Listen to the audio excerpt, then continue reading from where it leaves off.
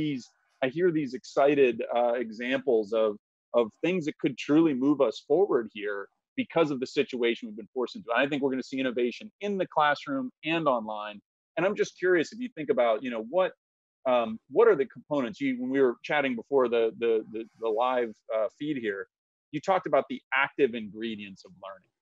Could you just just take us there? Because I think right now we're all locked into this silly mindset of it's online or it's in the classroom, and we have preconceived notions of both of those.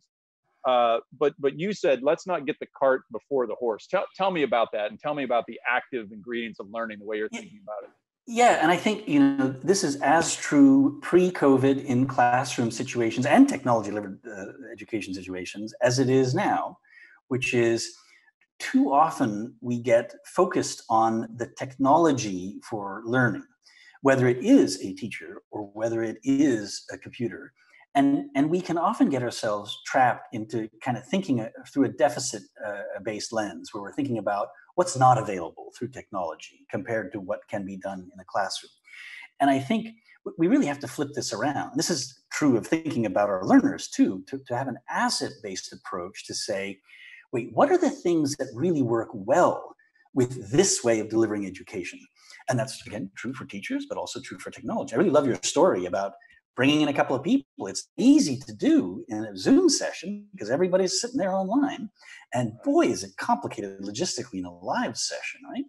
So the trick is to be aware of these new things. And then the cart before the horse issue is before you get all excited about the technology and what it can do, even though that's fun to do, you have to start from how does learning work in a human mind?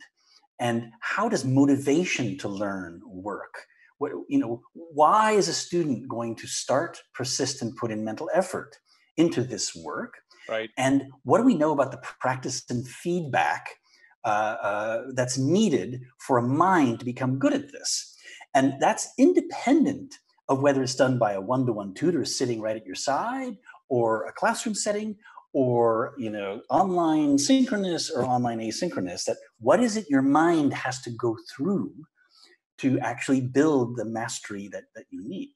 And once you have clarity around that, then you look at the affordances of whatever the technologies are you have available.